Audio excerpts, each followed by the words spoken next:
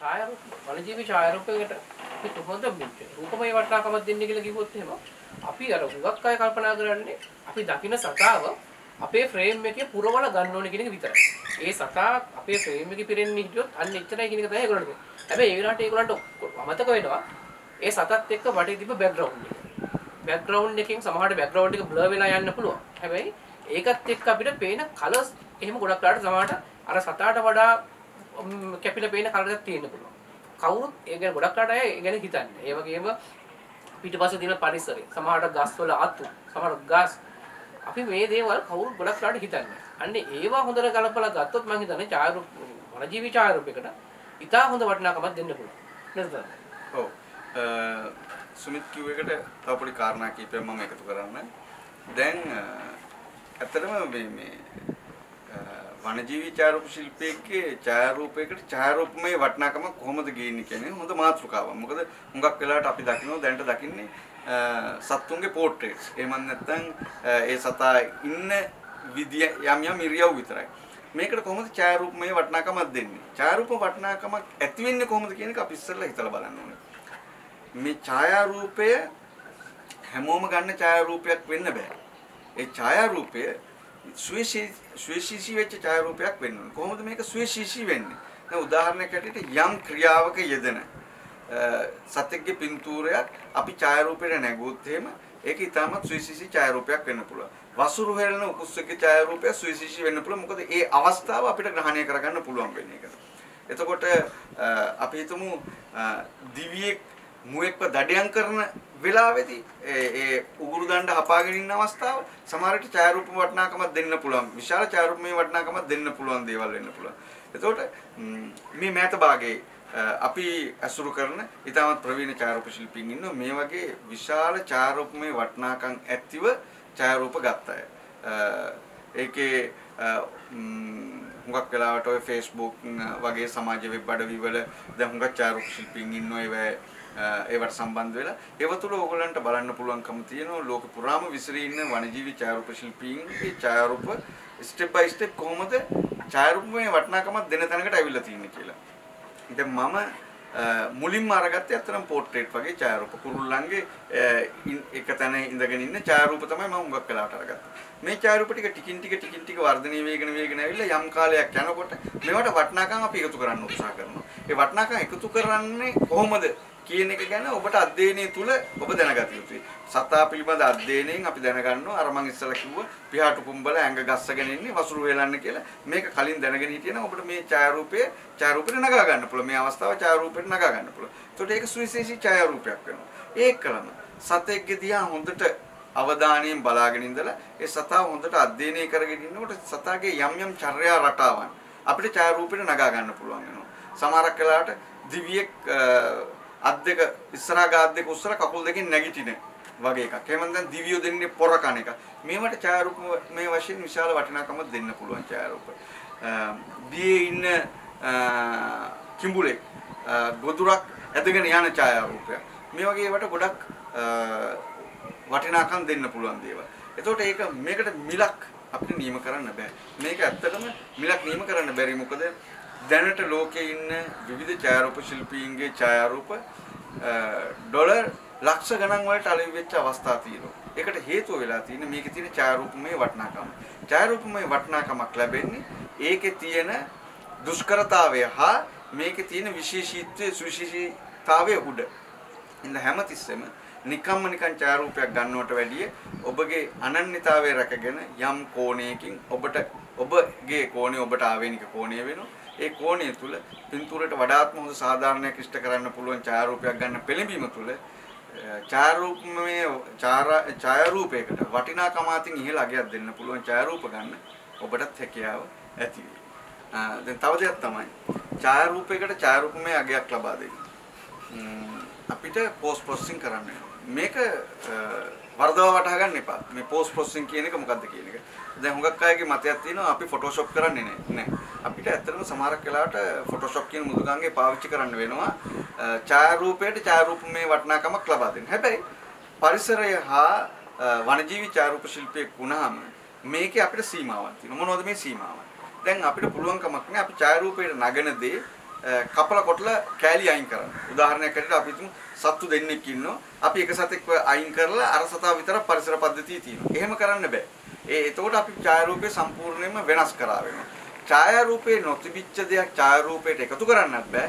ඡායාරූපේ තිබිච්ච දෙයක් ඡායාරූපයෙන් නැති කරන්නත් බෑ. වනජීවි ඡායාරූප ශිල්පියෙක් මෙන්න මේ රාමුවට කොටු වෙනවා. එතකොට ඡායාරූප ශිල්පී වනජීවි ඡායාරූප ශිල්පියෙක්ගේ ඡායාරූපය ඡායාරූපමය වශයෙන් වටිනාකමක් අරගෙන දෙන්න නම් පෝස්ට් ප්‍රොසෙසින් වලදී මොනවද කරන්න පුළුවන්? එකක් අපිට ලයිටිං පොඩ්ඩක් වැඩි කරන්න පුළුවන්. එතකොට කලර් බැලන්ස් කරගන්න පුළුවන්. මේ දේවල් අපිට කරන්න පුළුවන්. සුළු සුළු ඩස් පාටිකල්ස් තියෙනවා නම් ඩස් පාටිකල්ස් විතරක් අපිට ඒව පොඩ්ඩක් සුළු වශයෙන් අයින් කරන්න පුළුවන්. හැබැයි අපි කල්පනා කරන්න ඕනේ මේ ඡායාරූපයේ වටිනාකම ක්‍රම දෙකකට මේක වෙනස් වෙන්න පුළුවන්. එකක් ප්‍රවෘත්තිමය ඡායාරූපයක් වෙන්න පුළුවන්. එහෙම නැත්නම් මේක වනජීවී වුණත් ප්‍රවෘත්තිමය ඡායාරූපයක් වෙන්න පුළුවන්. හැබැයි ප්‍රවෘත්තිමය ඡායාරූප ඡායාරූපයකදී අපිට මේ කිසි දෙයක් වෙනස් කරන්න බෑ. ඩස් පාටිකල්ස් ඩස් පාටිකල්ස් හැටියට තියෙන්න ඕනේ. මොකද මේ ප්‍රවෘත්තියක් අරගෙන ඉන්නේ. එතකොට වනජීවී ඡායාරූපකදී අපි මොකක් කළාට බලන්නේ සුන්දර පරිසර පද්ධතිය සුන්දර සතෙක් අපේ ලෝකෙට ගෙනල්ලා පෙන්නන. එතකොට මේකදී අර වගේ චූටි චූටි දේවල් අපිට අයින් කරන්න පුළුවන් වුණාට සම්පූර්ණ කැලේ කපලා අයින් කරන්න බෑ. පිටත තියෙන ඒවා ගෙනල්ලා ඡායාරූපයට එකතු කරන්නත් බෑ. තරංගවලදීත් මේක හරි වැදගත් වෙනවා. දැන් හුඟක් වෙලාවට ඡායාරූප තරංග වලට අපේ රටේ ඉන්න ඡායාරූප ශිල්පියෝ තරංග වලට මුහුණ දෙනවා. ඡායාරූපේවට යොමු කරන්න බොහෝ නැඹුරුතාවයක් තියෙනවා. පාසල් මට්ටමින් වුණත් අපි මේක විශේෂ මේ නැඹුරුත්වයක් අපි දැන් දකිනවා. එතකොට මේ වෙද්දි තමුගේ සීමාව මොකද්ද කියන එක වටහාගෙන තියෙන්න ඕනේ ඡායාරූපයකට දාන්න. දැන් මෑතදී මම ඡායාරූප තරංගයක් විනිශ්චය කරන්න ලැබුණා. ඒක තියෙනවා මේ කටුස්සෙක්ගේ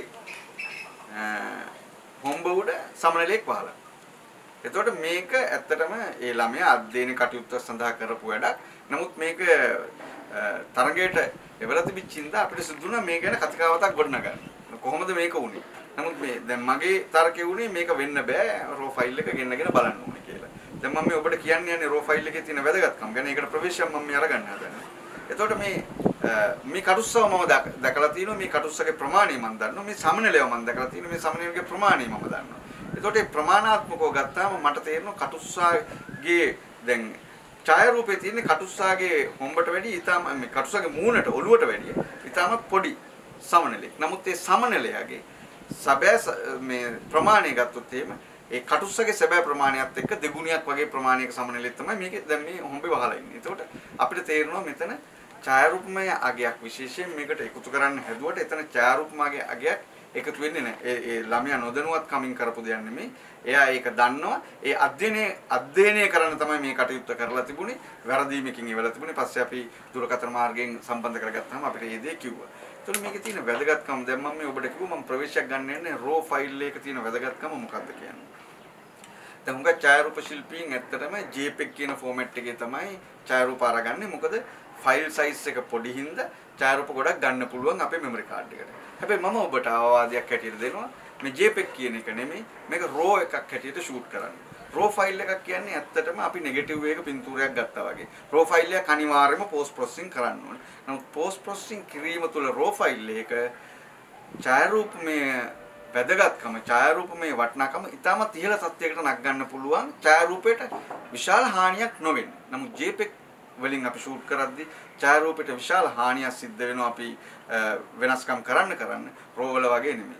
පළවෙනි කාරණාව තමයි ෆයිල් එකේ ප්‍රමාණය එන්න එන්න විශාල වෙනවා. ඔබ 10 සැරයක් මේක පෝස්ට් ප්‍රොසෙසින් කරොත් මේ 10 සැරේම මේ ෆයිල් එකේ ප්‍රමාණාත්මක වශයෙන් විශාල වෙනවා. එතකොට ඔබගේ හાર્ඩ් ඩිස්ක් එකේ එහෙම නැත්නම් ඔබ ගබඩා කරලා තියාගන්න මීඩියා වල විශාල අවකාශයක් අවශ්‍ය වෙනවා මේ ෆයිල් සේව් කරලා තියාගන්න. නමුත් රෝ ෆෝමැට් එකෙන් අපි ෂූට් කරොත් එහෙම අපි ගන්න පළවෙනි ෆයිල් එකේ සයිස් එකම තමයි අපි 100 සැරයක් මේක පෝස්ට් ප්‍රොසෙසින් කරා ඒ ෆයිල් එකේ සයිස් එකේ ලොකු වෙනසක් වෙන්නේ නැහැ.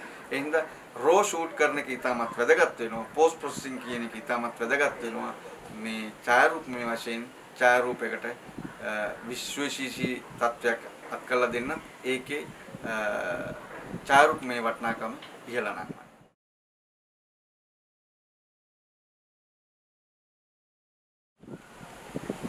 ටෙක්නික්ස් පැත්ත කතා කරොත් එහෙනම් මම ගොඩක් ලාට කැමති ලෝ ඇන්ගල් එක. ඉතින් ඒ වෙනුවෙන් මම සමහර හැමතිස්සම අපිට එහෙම ලෝ ඇන්ගල් යන්න බෑනේ. ඉතින් මම සාමාන්‍යයෙන් අපි වයිල්ඩ් ජාතික වනෝද්‍යානයකට ගියත් මම සාමාන්‍යයෙන් තෝරගන්න ජීප් එක මම සමහරකට පිටිපස්ස දොරේ පොඩ්ඩක් ඉර තියෙන එකක් තමයි මම බලන්නේ. මොකද එතකොට සමහරට පිටිපස්ස දොරෙන් පහත් වෙලත් පින්තූරයක් ගන්න පුළුවන්. ඒ වගේම ඒකේ සීට් තියෙන විදිය, ඒ වගේ සීට් වැකින් මට කැමරාව දාන්න පුළුවන්ද? ඒ වගේ විශේෂ දේවල් මම බලලා මොකද සතෙක්ගේ මට්ටමට ගිහිල්ලා පින්තූරයක් ගත්තොත් තමයි අපිට ඉතා හොඳට සතාගේ ප්‍රමාණයත් එක්ක අපිට පින්තූරයක් ගන්න පුළුවන්. ඒ වගේම තමයි සාමාන්‍ය මේ කොළම අපිට ඇවිදින තැන් වල දුනත් ඒත් මම try කරන්නේ low angle එකක් එහෙම නැත්නම් සතාගේ මට්ටමට යන්න. ඉතින් ඒ වගේ දේවල් වලදී මම ගොඩක් වෙලාවට height එකක් මේ මම නිර්මාණය කරගත්ත එකක් තියෙනවා. මම එකක් පාවිච්චි කරනවා. මොකද ඒකට අපිට සතෙක් ඉන්න තැනකට ගිහිල්ලා දැන් ඒගොල්ලෝ සාමාන්‍යයෙන් අපි ඒගොල්ලෝ වහන තැනක් බලලා දැන් සමහරකට මම අද පින්තූරයක් ගන්න හම්බෙන්නේ නැහැ. හැබැයි මම අද සතාව අධ්‍යයනය කරලා එනවා. සතා කොතනද වහන්නේ කියලා. ගොඩක් වෙලාවට ගොඩක් මේ කුරුල්ලෝ එහෙම අද වහපු තැනම ගොඩක් වෙලාවට ඒ වගේ ආසන්න වෙලාවකදීව හෙටත් ඒගොල්ලෝ වහනවා. ඉතින් සමහරකට අද ගන්න බැරුණත් මම ඒගොල්ලෝ ගැන පොඩි අධ්‍යයනයක් කළා. ඊට කලින් දැන් කලින් දවසේ මම ඊතර දැක්කනම් අද මෙයා මෙතන ඉන්නවා. ඊළඟ දවසේ ඊට කලින් වඩා උඩින් ගිහිල්ලා මම ඊතර ලෑස්ති වෙනවා. ඒ මේ එයාගේ මට්ටමේ කැමරාව සවිකරගෙන. එහෙම නැත්තම් මම තව මන් නිර්මාණය කරගෙන දෙනවා මට මෙට්ටයක්. ඉතින් ඒක මම සමහරක් වෙලාවට මේ වෙබ් අයිනි වගේ ඒ වගේ තැනකදී ඒක පාවිච්චි කරනවා. ඒ වගේ පුංචි පුංචි දේවල් මම සමහරක් වෙලාවට ඒ වගේ මේ හදා ගන්නවා. මට ඕන ඇන්ගල් එකට යන්න. සද්දය ඔව් සුමිත් අ, කියපු කාරණාවලුත් එක්ක ඇත්තටම වනජීවි ඡායාරූප ශිල්පයේ මොන වගේ ටෙක්නික්ස්ද පාවිච්චි කරන්නේ කිව්වහම එක එක ඡායාරූප ශිල්පීන්ට මේ ටෙක්නික්ස් තමුන්ට ආවේනික වෙනවා. දැන් අ, මම පාවිච්චි කරන ටෙක්නික් එක නෙමෙයි සුමිත් පාවිච්චි කරන්නේ. සුමිත් පාවිච්චි කරන ටෙක්නික් එක නෙමෙයි වෙන්න පුළුවන් තව ඡායාරූප ශිල්පියෙක් පාවිච්චි කරන්නේ. ටෙක්නික් එක හුඟක් වෙලාවට ඡායාරූප ශිල්පියාගේ අනන්‍යතාවය වෙනවා.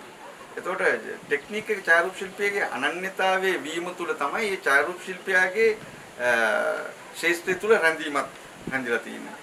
ඇන්ගල් එක කියන එක විශේෂයෙන්ම එකක් අපි දැනගත යුතු. දැන් සුමිත් අ, සඳහන් කරා සුමිත් හුඟක් වෙලාවට ලෝ ඇන්ගල් ෂූට් කරන්න කියලා. මොකද ඒකට ඡායාරූපේ ඊටමත් ඡායාරූපේ ලොකු සුන්දරත්වයක් එකතු කරන්න පුළුවන්. ලෝ ඇන්ගල් ෂූට් කරපුවාම පෙර භූමිය සම්පූර්ණයෙන්ම බ්ලර් වෙලා ගිහිල්ලා අවශ්‍ය කරන සබ්ජෙක්ට් එක හොඳට ફોකස් වෙලා ආයි පසු භූමිය හොඳටම බ්ලර් වෙලා ගිහිල්ලා අපි කියනවා මේකට ෆස්ට් ඉම්ප්‍රෙෂන් එක මේ ඡායාරූපෙට දීපු ගමන් අපිට පළවෙනි අපේ ෆස්ට් ඉම්ප්‍රෙෂන් එක කියන්නේ අදාළ සබ්ජෙක්ට් එකට විතරයි. හුඟක් වෙලාවට ඒක ඡායාරූපමය වශයෙන් වටිනාකමක් ලබා දෙන්න ඒක ඒක ඒක ඉවහල් වෙන අ, කාරණාවක් වෙනවා.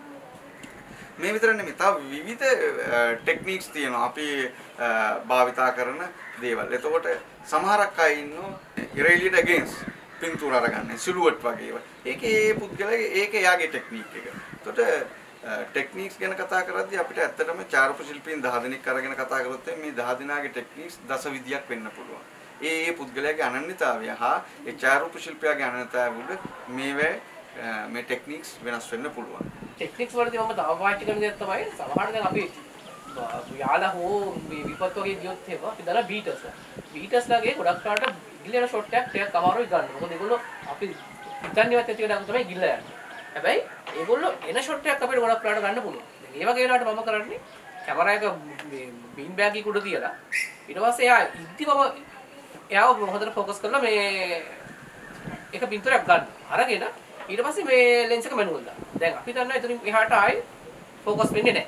ફોකස් වෙන්නේ නැහැ. අනිත් එක තමයි අපිට එයා දුරින් ඉඳන් එනවා පේන්නේ නැහැ. මොකද අපි view point එකේ හැටියෙන් ඉන්නේ. ඒතර view finder එකේ මම ඇහැ ගන්නවා. අරගෙන කැමරාව හෙල්ලෙන්නේ නැතුව ඉතින් තියාගත්තට පස්සේ අපිට එයා පේනවා දැන් එයා දුරින් ඉඳන් එනවා. හරි. එතකොට ඒනකොට මම කන්ටිනියු ෂූට් කරනවා. එතකොට අපිට හැබැයි ඒ වගේ වෙලාවට මම තව ටිකක් එක දෙයක් කරනවා. හොඳටම zoom කරලා තියන් හිටියා නම් ඊට වඩා පොඩ්ඩක් අඩු කරනවා. සාමාන්‍ය අපි දැන් මේ 300 මං හිටියා නම් එහෙම මම ඒක 200කට වගේ zoom එක අඩු කරනවා. මොකද අපිට දැන් එයා එන තැනක් හරියට හිතා ගන්නත් බෑ. ඒ වගේ වෙලාවට මම අපච්චික තව ටිකක් පිළිපොර දානවා. මොකද අපි එයා සමහරකට අපි හිතන තැනින්ම මේ නෙමෙයි එන්නේ. ගොඩක් වෙලාවට එයා ඊට පොදරට එනවා. හැබැයි එයා දුරේ ඉඳන් එද්දිම මම ෂට කරන්න පටන් ගත්තට පස්සේ ඉතා හොඳ ෂොට් එකක් එයාගේ ලෑන්ඩින් ෂොට් එකක් අපිට ගන්න පුළුවන්. ඔව් අ, සුමිත් එක්කලම අ, තව කාරණාවක් තියෙනවා මම මතු කරලා දී දිය යුතු. දැන් හුඟක් වෙලාට දැන්ට භාවිතයේ තියෙන බොහෝ කැමරා තාක්ෂණික මට්ටමේ ඉතාමත්ම දියුණු කැමරා. කියන්නේ අපි ඉස්සර දුක් විඳ ආ වගේ දුක් විඳින්න අවශ්‍ය නැහැ ඡායාරූප ශිල්ප දැන් නවීන ඡායාරූප ශිල්පියෙකුට ඡායාරූපයක් ගන්න. මේ ඡායාරූප මේ මේ මේ කැමරා වර්ග තුල තාක්ෂණික වශයෙන් ඉතාමත්ම ඉහළ අගයන් තියෙන අ, වටිනාකම් දෙන්න පුළුවන් සමහර සෙටින්ග්ස් තියෙනවා. අ, සුමිත් පාවිච්චි කරන මේ ටෙක්නික් එක වගේ මම පාවිච්චි කරන එක ටෙක්නික් එකක් තමයි අපිට අ, ISO වගේ අපිට බ්‍රැකට් කරන්න පුළුවන්. එහෙනම් අපිට ඒක ඔටෝ වේරි වෙන්න දෙන්න පුළුවන්. උදාහරණයක් ඇටියට මම කැමරකට විධානයක් දෙනවා ISO 100 ඉඳන් ISO 800 වෙනකන් රේන්ජ් එක ඇතුළත මේක ඔටෝ කැමරාවට මේ අ, ISO වගේ කැමරාවට තීරණය කරන්න.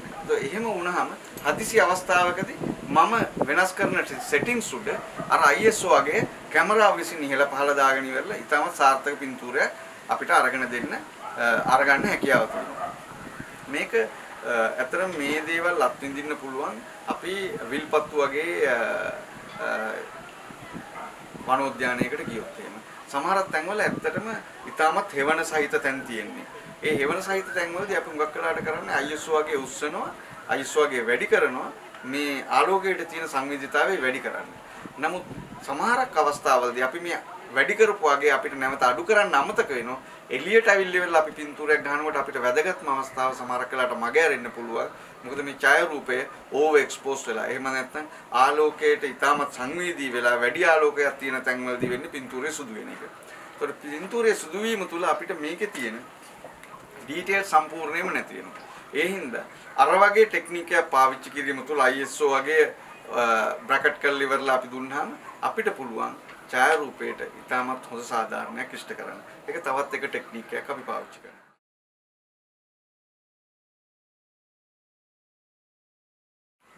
එතකොට මම කොහොමද ඡායාරූප ශිල්පීට නැඹුරු වෙන්නේ? මේක හො- හොඳ මාතෘකාවක්. මම මීට කලින් බොහෝ අ, වැඩසටහන් වලදී මම මේ ගැන කියලා තියෙනවා. ඇත්තටම එවකට මම පාසල් ශිෂ්‍යයෙක් ඊටම කුඩාවදී හිටියේ. අ, මම හරි කැමති ගැජට්ස් වලට. මට මතකයි මම මේ අ, විවාහ මංගල උත්සවයකට සහභාගී වුණා අපේ පවුලේ හැමෝමත් එක්කම. අ, ඒ විවාහ මංගල උත්සවයේදී දැන් මේ කැමරමන් මට සුවිශේෂී චරිතයක්. මම හුඟක් වෙලාවට කැමරමන් දිහා බලාගෙන ඉන්නවා. එයා ෆොටෝ ගහනවා. එයාගේ තිබුණ එක්ස්ටර්නල් බැටරි පැක් එකක්, ලොකු ෆ්ලෑෂ් ගන්න එකක්. ඉතින් අර එහෙම ඉන්න කියනවා, මෙහෙම ඉන්න කියනවා. මුළු විවාහ මංගල උත්සවයේම කන්ට්‍රෝල් කරන්නේ මේ ඡායාරූප ශිල්පියා. ඉතින් මට සුවිශේෂී චරිතයක් මේ පුද්ගලයා. ඒකල මෙයාගේ අතේ තිබිච්ච මේ ගැජට් එකත් මට හරි විශ්ම විශ්මය දනවන ගැජට් එකක්. ඉතින් අ, සුළු වෙලාවක් ගිහිල්ලා ඉවරලා පින්තූර ටික අරගෙන ඉවරුනාම මේ පුද්ගලයා ඒ කැමරා එක මේසයක් උඩින් තියලා ඊට පස්සේ පොඩ්ඩක් වෙඩින් එකට ආපු කට්ටියත් එක්ක සෙට් වෙලා දැන් ඩ්‍රින්ක්ස් වගේක් ගන්නවා. මිනිහා ටිකක් බීලා ඒ වෙනකොට. අ, මම ඉතින් අර කැමරක මේස උඩ තියෙනවා දැකලා මම මේක බොහොම පරිස්සමෙන් ගිහලා බොහොම ආදරෙන් අත් දෙකෙම බොහොම දෝතින්ම අරගත්තා මේ මේ කැමරක අතට. මම හිතන්නේ එක විනාඩියක්වත් යන්න හම්බුනේ මම මේ කැමරක අතේ තියාගෙන ඉන්නකොට මේ පුද්ගලයා මගේ කනට කරලා අ, අපේ අම්මවත් මතක් කරලා ඉවරලා මේ තියපන් ඕක කොහොම ඔතනින් කියලා මට මේ මිනිස්සයා කිව්වා. මට හරි සන්තෝෂයි අද මේ මිනිස්සයා තමයි පළවෙනි ඇණේ ගැව්වේ මට ඡායාරූපකරණයට එළඹෙන්න. එදා මම කොච්චර බය වුණාද කියනවනේ මට අද වගේ මතකයි මම දවස් දෙක වෙවුලන්න ගත්තා මොකද කිසිම පුද්ගලයෙකින් අහලා තිබුණේ නැහැ. මට ඒවකට කැමරාවක් ගන්න පුළුවන්කමක් තිබුණෙත් නෑ. මම දුප්පත් අ, පවුලකින් ආපු කෙනෙක්. මට තාම මතකයි මං අඬ දාපු කල්සි මැදගෙන ඉස්කෝලේ යනවා. මම මේ කියන්නේ ලැජ්ජත් නෑ. මම මේ දේ ප්‍රකාශ කරන්නේ හෙට මේ ලෝක සුවිශේෂී වනජීවී ඡායාරූප ශිල්පීන් ලංකාව තුළ බිහි වෙන්න පුළුවන්. ඒ බිහි වෙන ඡායාරූප ශිල්පීන් ජීවිතේ ඉතාමත් අමාරුවෙන් නැගිටලා තැනකට ආපු මිනිස්සු වෙන්න පුළුවන් මං වගේ. අ, මං ඒ හින්දා මේ දේ කියන්නේ. එහෙම ම්, දුප්පත් දරිද්‍රතාවයෙන් ගොඩ වෙලා අ, අද මේ තැනට ඇවිල්ලා තියෙන්නේ. දැන් අද මේ වෙනකොට මගේ ගාව තියෙන අ, ලෝක ඉතාමත් මිලාදික අ, කැමරා උපකරණ අ, වලින් කොටසක් මගේ ගාව තියෙනවා. හැමදේම නෙමෙයි. කොටසක් මගේ ගාව තියෙනවා. වනජීවි ඡායාරූප ශිල්පයට අදාළ වෙන හුඟක් දේවල් තියෙනවා. එතකොට මේ තැනට එන්න මාව පෙළඹෙව්වේ අන්නේ පුද්ගලයා. මේ සිදුවීම හරි දෛවෝපගතයි. ඊට කාලයකට පස්සේ කැමරා එක LK ආයතනයෙන් වැඩසටහනක් මෙහෙව්වා වයිල්ඩ් ආම්ස් කියලා ජී.ආර්. ජයවර්ධන කේන්ද්‍රයේදී. මේ කේන්ද්‍රයේ මේක මෙහෙවනකොට මට මතකයි අ, මම හිතන්නේ අ, මේකට 800ක් 1000ක් අතර දෙනෙක් මේකට සම්බන්ධ වුණා මුළු ජයවර්ධන කේන්ද්‍රයේම එකම හිස් ගොඩක් වෙලා තිබුණේ ඒ වෙනකොට. ඒ පුද්ගලයා මට මතකයි ඇවිල්ලා මගේ ඉස්සරහම සීට් එකේ වාඩි වෙලා ඉන්න මේ මූණ මතකයි මට ඒ කතා කරපු විදිය මතකයි. දෛවෝපගතයි කියන්නේ. අ, විවේක වෙලාවදී මම සාමාන්‍යයෙන් මගේ කැමරා එක මේ අතපත ගාලා බලන්න දෙනවා නවකයන්ට. මොකද අර මට තිබිච්ච පළවෙනි අත්දැකීම කැමරා එක මට පැත්තකින් තියන්න කියපු එක ඒක ඒ ඉතාමත් අසභ්‍ය වචනෙන් මට ඒ කියපු කතාව මට අද වගේ මතකයි. ම්ම්, ඒ හින්දා මම මගේ මෙවලන් ඕන කෙනෙකුට අතපත ගාලා විඳින්න දෙනවා. මොකද එදා ඒ පුද්ගලයා හිතන්නේ නැතුව ඇති අනාගතේ යම් දවසක මෙහෙම පුද්ගලයෙක් තමයි මේක මගේ කැමරාව අත ගන්න කියලා. නමුත් මම විශ්වාස කරනවා අද මගේ කැමරා එක අත ගන්න කෙනෙක් මේකට ඇලුම් කරන කෙනෙක් හෙට සුවිශේෂී වනජීවි ඡායාරූප ශිල්පියෙක් වෙයි කියලා හින්ද කොච්චර මිලාදික වුණත් මම මගේ භාණ්ඩ ඒ මිනිස්සුන්ට අතගාලා බලන්න මම දෙනවා. ඕනම වැඩසටහනකදී මම ඒක ගෙනියලා ප්‍රදර්ශනය කරනවා. ප්‍රදර්ශනය කරන අතර වාරේ ඒ මිනිස්සුන්ට ඒක අතගාලා බලන්න ඉඩකඩ සලස්වනවා මේ පුද්ගලයා මගෙන් ඇවිල්ලා අහනවා. එදා මට කුමාරපෙන් බැනපු කෙනා. සර් මෙච්චර වටින බඩු. ඇයි මේ මිනිස්සුන්ට අතපත ගන්න දෙන්නේ? මම මොහොතක් නිශ්ශබ්ද විඳලා මං ඉඳන් කිව්වා මීට දශක දෙකකට තුනකට කලින්. මෙන්න මෙහෙම පුද්ගලයෙක් මට මෙහෙම කිව්වා. ඒ කියපු එක තුළ මම මේ ඡායාරූප ශිල්පීට එන්න නැඹුරුත්වය දැක්වුවා මට මේ මෙවනම් මගේ කරගැනීමේ අවශ්‍යතාවයක් එදා පැවතුණා. ඒ දැකපු හීනේ සැබෑවීමක් තමයි මේ අද මම අත්විඳින්නේ ඒක තුළ මම තීන්දුවක් ගත්තා. මගේ භාණ්ඩ මගේ උපකරණ කාට හරි අත්හදා බලන්න අතපත ගාලා බලන්න උමනාවක් තියෙනවා නම් මම ඒකට ඉඩකඩ සලස්වනවා කියන එක. අන්න ඒ විදිහට තමයි මම ඇත්තම ඡායාරූපකරණයට අතපොත් මම හිතනවා කවදාවත් ඡායාරූප ශිල්පියෙක් වනජීවී ඡායාරූප ශිල්පියෙක් තියා මම ඡායාරූප ශිල්පියෙක්වත් වෙන වෙනකවත් හිතලා තිබ්බේ නැහැ. පස්සේ මගේ ව්‍යාපාරයත් එක්ක මට කැමරාවක් ගන්න ඕන නම් මොකද මගේ මම කරන්නේ වාහනත් එක්ක කරන ව්‍යාපාරයක්. ඉතින් ඒ වගේ පින්තූර මට ගන්න ඕන නිතරම. මේ ඒකින්ද මම අන්තිමට ඩිජිටල් කැමරාවක් ගත්තා. හැබැයි ඒක ගොඩාක්ම පොඩි එකක්.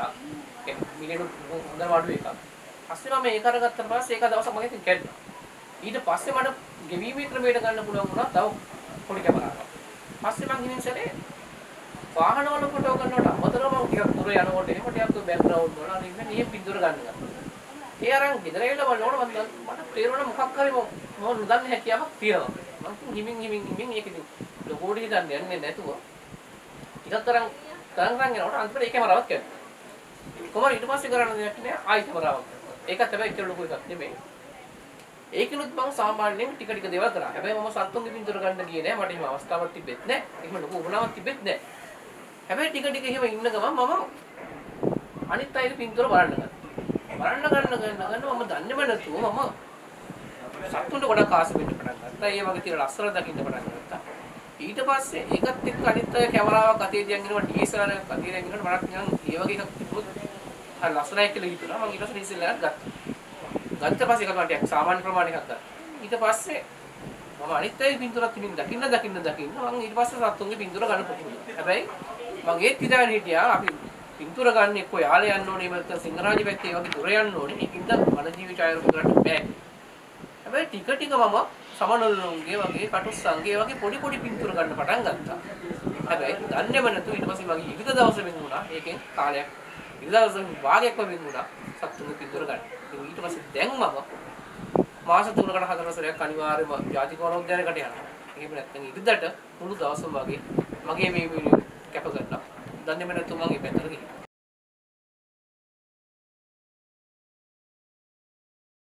තාමත් කෙනෙක් දෙගිඩියාවෙන් දෙගිඩියාවෙන් ඉන්නව ඉන්න පුළුවන්. මම කැමරාවක් ගන්නවද නැද්ද?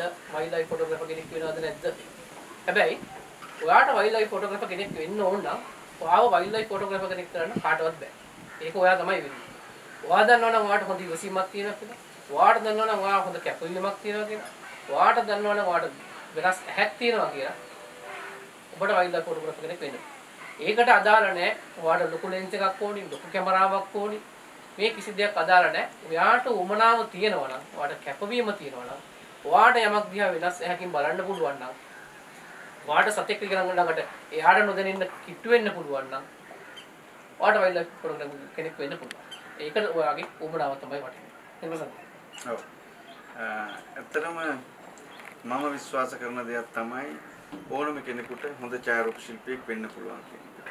ඒකට මේ අ, සමාජ මට්ටම බලපාන්නේ නැහැ. තමුන් කොච්චර පොහොසත්ද නැද්ද කියන එක අ, ඒ හැටි බලපෑමක් කරන්නේ. හැබැයි මේකට කැපවීම කියන එක ඉතාමත් මෙකින් තියෙන්න ඕනේ.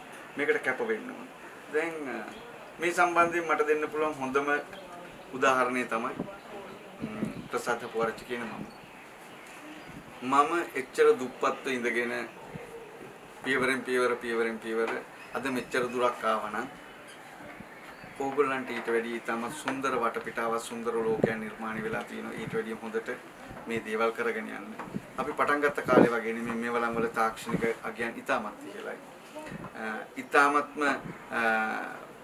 කැමරාවල ආම්පන්නවල මිල බොහොම පල්ලෙහා මට්ටමක තියෙන ඉස්සර වගේ තාමත් මිල අධික නැහැ.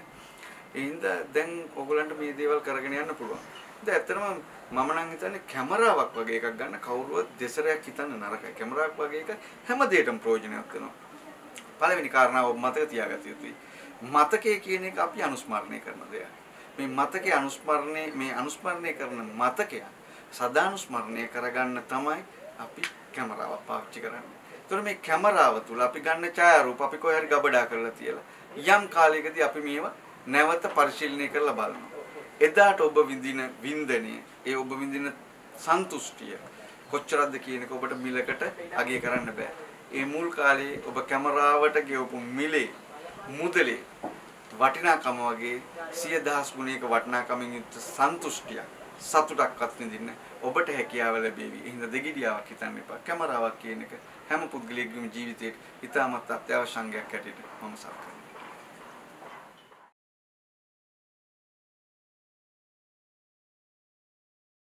අතන අපි හිතන්නේ ඡායාරූප ශිල්පයේ වෙන්න අපි මේකේ මෙච්චර දුර ඉන්න සමහරකට මම හිතන්නේ Facebook එකත් ගොඩක් බලපෑම. එකක් තමයි අපේ දේවල් අපි පෙන්වන්න පෙන්වන්න අපිට ඒවට කමෙන්ට්ස් ආවා. එක එක අය අගය කරා අඩුපාඩු කියලා දුන්නා. මම හිතන්නේ මේ දැනුම බෙදාගත්තා. මේව ඔක්කොම අපි ගොඩක් වෙලාට Facebook එකේ සමාජ දාලා මගින් කරේ. අනිත් එක තමයි අපි පිටරට ආයේ පින්තූර බැලුවා. ඒ කියන්නේ දක්ෂ ඡායාරූප ශිල්පීන්ගේ පින්තූර අපි දැක්කේ Facebook එකේ.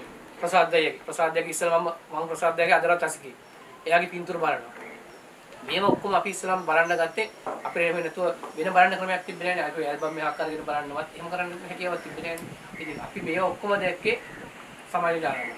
ඉතින් මම හිතන්නේ ඒක හුඟක් ප්‍රොජෙක්ට් මිනිස්සු නේද කරන්නේ. ඔව් ඇත්තටම මේ ඡායාරූප ශාස්ත්‍රයේ මෙච්චර ප්‍රගමණයකට තුඩු දෙන්න ප්‍රධානම කාරණාව තමයි මේ සමාජ වෙබ් අඩවි මේත භාගයේ බිහි වෙච්ච. විශේෂයෙන්ම Facebook එක. ඇත්තටම මේ Facebook හින්දා තමයි හුඟක් මිනිස්සු ඡායාරූප ගන්න පෙළඹුණේ. තමුන්ගේ අතේ තියෙන කැමරා ෆෝන් එකෙන් වෙන්න පුළුවන්, තමුන්ගේ අතේ තියෙන පොඩි පොයින්ට් ඇන්ඩ් ෂූට් කැමරා එක වෙන්න පුළුවන්, ඩිජිටල් SLR එක වෙන්න පුළුවන්. විශාල ප්‍රගමණයක් මේ පෞගිය අවුරුදු 7 8 9 10 කාලය තුල විශාල ප්‍රගමණයක් ඡායාරූප ශිල්පය තුල අපිට අත්විඳින්න පුළුවන් වෙනවා. මේ අත්විඳින්න පුළුවන් වෙන්නේ මොකොත් නෙමෙයි. තමුන්ගේ නිර්මාණය එලි දක්වන්න, තමුන්ගේ නිර්මාණය ප්‍රදර්ශනය කරන්න මේ අවශ්‍ය කරන භූමියක් සැකසීලා තියෙන එක. ඒක තමයි මේ සමාජ වෙබ් අඩවි. Facebook එතකොට Instagram වගේ සමාජ වෙබ් අඩවිය ඔස්සේ අපිට අපේ නිර්මාණයෙන් ලෝකයට අරගෙන යන්න පුළුවන්කම ලැබිලා තියෙනවා. ඒ තුල අනිත් කෙනාගේ අදහස මොකද්ද? ඒ කෙනාගේ මේ සම්බන්ධයෙන් තියෙන මේ කමෙන්ට් එක මොකද්ද කියන එක අපිට දැනගැනීමේ හැකියාව තිබුණා. චාරුප ශිල්පයට අතපොත් තියන අයට චාරුප ශිල්පය ඉගෙන ගන්න. ආධුනික චාරුප ශිල්පීන්ට ප්‍රවීණව වෙන්න. ප්‍රවීණ ඡායාරූප ශිල්පීන්ට තමුන්ගේ ඡායාරූපෙන් ලෝකයට ගෙනියන්න මම හිතන්නේ ඉතාමත්ම හොඳ තෝතැන්නක් වුණා මේ සමාජ වෙබ්බඩවි. මේ මෑත භාගයේ මේ ශාස්ත්‍රයේ විශාලම ප්‍රගමණයකට හේතු වෙන්න පාදක වෙච්ච පළවෙනි කාරණාව තමයි මේ සමාජ වෙබ්බඩවි. එතකොට මම හිතන්නේ දැන්ට ඡායාරූප ශාස්ත්‍රයේ නියැලෙන ඡායාරූප ශිල්පයට අතපොත් තියෙන හැම කෙනෙකුටම Facebook account එකක් තියෙනවා. එහෙම නොවෙනවනම් මම හිතන්නේ ඒක ඉතාමත්ම බොරුවක්. එහෙම නැහැයි කියනවනම් ඒක බොරුවක්. එහෙම නැති ඡායාරූප ශිල්පියෙක් ඉන්නවා නම් ඒ ඡායාරූප ශිල්පියාට තමුන්ගේ අනන්‍යතාවය ලෝකෙට ගෙනියන්නත් හැකියාවක් නැහැ. මොකද ඉස්සර නම් අපිට පුවත්පත් මාර්ගයෙන් තමයි අපේ හැකියාවන් එලි දක්වන්න පුළුවන් වුණේ. එහෙම නැත්නම් අපි මැගසින් එකක් කරන්න ඕනේ. නැත්නම් ප්‍රදර්ශනයක් කරන්න ඕනේ. එහෙම නැත්නම් අපි පොතක් එලි දක්වන්න ඕනේ. දැන් මේ කිසි දෙයක් කරන්න අවශ්‍ය නැහැ. අපේ ප්‍රදර්ශන භූමිකාව අපිට මේ සමාජ වෙබ් අඩවිවල තියාගන්න පුළුවන්. මේ දැන් ගන්න පින්තූරේ ඊළඟ තප්පර පහේදී මුළු ලෝකයටම පේන්න පුළුවන් තැනකට අපිට මේක යොමු කරන්න පුළුවන්. මේ හැකියාව තුළ ඡායාරූප ශාස්ත්‍රයේ විශාල උන්නතියක්, විශාල පිබිදීමක් ඇති වුණා කියන එක මම විශ්වාස කරනවා. ඒක මම තව දෙයක් එකතු කරන්නේ. ඒකත් එක්ක සමහර වෙලට පොඩි හානියකුත් සිද්ධ වෙනවා. මම හිතන්නේ දැන් Facebook එකකින් අනිත් අයගේ පින්තූර දකින්න දකින්න හැමෝටම මේක ගන්න මේ උමනාවක් ඇති වෙනවා. හැබැයි ඒගොල්ලන්ට අවශ්‍ය වෙන්නේ සමහර අයට Facebook එකේ පින්තූරයක් දාගැනීම විතරයි. හැබැයි ඒගොල්ලෝ පින්තූරයක් ගන්න යද්දි සමහර සතියකට හානියක් වෙන්න පුළුවන්. අපි සමහරක් වෙලාවට අපි දන්නේ නැහැ සමහර අපි මේ පස්සෙන් දුර ගන්න කුරුල්ලෙගේ පින්තූරයක් ගන්න යද්දි ඒ කුරුල්ල සමහරට පැය ගාණක් ඉඳලා මේ ගොදුරක් මේ අරගන්න යන වෙලාව. සමහරට මේ පැය ගාණක් මහන්සි වෙච්ච ගොදුරවට නැති වෙන්න පුළුවන්. ඒ වගේම තමයි සමහරක් වෙලාවට ඒව ගන්න ගිහිල්ලා කුරුල්ලන්ගේ කූඩු කැඩෙන්න පුළුවන්. බිම ඉන්න සත්තුන්ගේ මේ කුරුල්ලන්ගේ මේ මේ මේ කූඩු වල තියෙන පිටර කැඩෙන්න පුළුවන්. මේ ගොඩක් දේවල් බලන්නේ නැහැ. මම හිතන්නේ ඒකත් අපි හදාගන්න ඕනේ නේද? ඔව්. ඇත්තටම ඡායාරූප ශිල්පයේ තියෙනවා මේ ෆොටෝග්‍රැෆි එතික්ස් කියලා දෙයක්. ඡායාරූප ශිල්පයේ නියැලෙන හැම කෙනෙක්ම මේ එතික්ස් මොනවද කියන එක දැනගන්න ඕනේ. දැන් අ, සුමිත් මල්ලි කිව්වා වගේ සමහර කුරුල්ලෝ ඇත්තටම බිත්තර රකින්නවා අ, ඉර එළියට නිරාවරණය වෙච්ච පරිසරයන් තුළ බිත්තර රකින්නවා එක දිගට බිත්තර ඉර එළියට නිරාවරණය නොවෙන්න. මොකද එහෙම පැය භාගයක් බිත්තරේ අ, ම්, ඉර එළියට නිරාවරණය වුණොත් මේ බිත්තරේ සමහර වෙලාවට නරක වෙන්න පුළුවන් ඒ තුළ ඉන්න සතා නැති වෙන්න පුළුවන්. ඡායාරූප ශිල්පයේ මේ ඡායාරූපයකට නගා ගන්න මේ අවස්ථාව මේවා කරගෙන මේ කුරුල්ලා ඉන්න තැනට යන්න ගත්තොත් එහෙම මේ කුරුල්ලා මෙතනින් ඉගිල්ලිලා යනවා. පැයකට විතර ප්‍රමාණයක් මේ කුරුල්ලා එන්නේ නැහැ. සමහරක් වෙලාවට අපි දකිනවා සමහර පරිසර පද්ධතීන් තුල එක යායටම ඒ බිත්තරලන අවදිවලදී ඒ කුරුල්ල කුරුල්ලෝ කිරිල්ලියෝ කරන්න බිත්තර දාලා බිත්තර රකින්න එක. සමහර පරිසරයන් වල ඒ හුඟක් වෙලාවට ජල ආශ්‍රිතව තියෙන භූමි භාගයන් වල මෝද ආශ්‍රිතව තියෙන භූමි භාගයන් වල හුඟක් වෙලාවට කුරුල්ලෝ අ, කරන්නේ වැල්ලේ එහෙම නැත්නම් ඒ බිම තමයි බිත්තර දාන්නේ. ඒතර මේ බිත්තර අපි මේ කුරුල්ලන්ට කිට්ටු වෙන්න උත්සාහ කිරීම තුළ වෙන්නේ මේ කුරුල්ලෝ ඉගිල්ලිලා යනවා. පැයකට පැය භාගයටවත් නැවත මේ කුරුල්ලෝ කැදලි වලට එන්නේ නැහැ. ඒක තුළ වෙන්නේ මේ බිත්තර සම්පූර්ණයෙන්ම ඉරු එළියට නිරාවරණය වෙලා සමහරක් වෙලාවට අපි එක අවුරුද්දක සම්පූර්ණයෙන්ම අ, පුරුළු සංහාරයක් කරා වගේ වෙනවා. මොකද ඒ කාලේ බිහි වෙන්න ඉන්නේ උන් පැටවු සියල්ලම සමහරක් වෙලාවට මේ තුල නැති වෙන්න පුළුවන්. එහෙනම් මේකේ අවදානම කියන එක දැනගන්න ඕනේ. ෆොටෝග්‍රැෆි එතික්ස් කියන එක හැම ඡායාරූප ශිල්පියෙක්ම දැනගත යුතු දෙයක්. විශේෂයෙන්ම මතක තියාගන්න ඕනේ. ඡායාරූප ශිල්පියෙක් වුණාම දෙයක් විනාශ කරලා ඡායාරූපයට නගලා වැඩක් නැහැ. ඒ දේ ආරක්ෂා කරගෙනයි අපි මේ දේවල් ඡායාරූපයට නගන්න ඕනේ කියන එක අපි හොඳට තරේ මතක තියාගන්න. ඒ වගේම තමයි අපේ අපේ ආරක්ෂාව ගැනත් හිතන්න ඕනේ. ගොඩක් වෙලාවට පින්තූර ගන්න යනවා. හැබැයි සමහර කොට කඩසමක් කරන් යනවා වෙන්න පුළුවන්. එහෙම නැතුව අපි අපේ ආරක්ෂාව ගැනත් හිතන්න ඕනේ. සපතු දෙකක් පරිදි දෙන්න බලන්න ඕනේ. එහෙම නැත්නම් අපි දන්නේ අපි ගන්න පින්තූර ගන්න යන තැන් වල ගොඩක් අර සර්පේ ඉන්නවා. ඒගොල්ලන්ගෙන් අපිට හානියක් වෙන්න පුළුවන්. ඒ වගේ ඒවත් බලා ගන්න ඕනේ. මොකද අන්තිමට ඔබ ඡායාරූපයක් හොඳ එකක් අරන් ඇති. හැබැයි ඒක බලන්න ඔබ නැති. අ, තව දෙයක් මම එකතු කරන්න ඕනේ අ, සුමිත් කිව්වා වගේම අපි යන්නේ ඇත්තටම අපේ පරිසර පද්ධතියට නෙමෙයි අපේ ගෙදරට ආපු සත්තුන්ව නෙමෙයි අපි පින්තූරයට නගන්නේ අපි ඒ සතාගේ නිවා වාසස්ථානයන් වලට ගිහින් තමයි අපි පින්තූර ගන්න. එතකොට අපි තමයි මෙතනට මෙතන ඉන්න ආගන්තුකයෝ. එතකොට අපි දැනගන්න ඕනේ මේ පරිසර පද්ධතියට අනුකූල වෙන විදිහට අපේ හැසිරීම රටාවල් සකස් කරගන්න. තව දෙකක් තව දෙයක් මම අවධාරණය කළ යුතු තියෙනවා. මේ පරිසර පද්ධතිය ඇති වෙනකොට දැන් ඕගොල්ලෝ දන්නවා මේ ලෝකේ ඇති වුණේ කොහොමද මේ පරිසර පද්ධතිය බිහි වුණේ කොහොමද කියලා. ඒකට අපි ඔය මානව පරිණාමය ගත්තාම අ, මේ Homo sapiens sapiens කියන මේ මානවයා මේ කාලේට බිහි වෙන්න එන්න කලින් එතකොට මුල්ම අවදියේ ඉඳන් අපි අ, පරිණාමයේ වේගනාව ක්‍රමයක් තියෙනවා. ඒතර මේ පරිසර පද්ධතියට අවසානයේම එකතු වෙච්ච සතා තමයි මනුෂ්‍ය සතා. මනුෂ්‍යයා. එතකොට මේ මනුෂ්‍යයාට කිසිම අවස්ථාවක අ, හැකියාවක් ලැබෙන්නේ නැහැ මේ පරිසර පද්ධතිය වෙනස් කරන්න. මොකද මේ පරිසර පද්ධතියට අවසානයේ මේකතු වෙච්ච මිනි- කොට්ටාසය තමයි මිනිස්සයා කියන්නේ. ඒතර මිනිස්සයාට කිසිම අ, සදාචාරාත්මක අයිතියක් නැහැ මේ පරිසර පද්ධතිය වෙනස් කරන්න. එහෙමනම් අපි සදාචාරාත්මක මිනිස්සු හැටියට කළ යුත්තේ අපි යවට තියෙන පරිසරයට අනුගත වෙලා ඒ පරිසරය ආරක්ෂා කරගෙන අපි අපේ කර්තව්‍යයන් ඉස්සරහට කරගෙන යනවා. අද ඔයගොල්ලෝ ගොඩක් දේවල් ඉගෙන ගන්න ඇති කියලා මම හිතනවා. මොකද කියනවා නම් කැමරාවක් ලෙන්ස් එකක් අරගෙන වයිල්ඩ් ලයිෆ් කියන පැත්තට එන්න ඉන්නවා නම් ඕගොල්ලොන්ට මේ අයගේ අත්දැකීම් ගොඩක් වැදගත් වෙන්න පුළුවන්. වැදගත් වෙන්න පුළුවන් නෙමෙයි ඇත්තටම වැදගත් වෙන්න ඕනි.